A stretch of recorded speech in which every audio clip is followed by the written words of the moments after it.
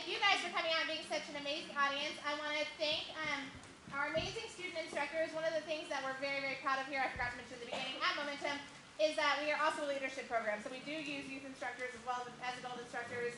Um, and actually, next fall, we're actually launching a full-on program, a full-on internship program for our music instructors with curriculum and everything so that they can leave here saying, I know what I'm doing, even if they didn't already know what they're doing.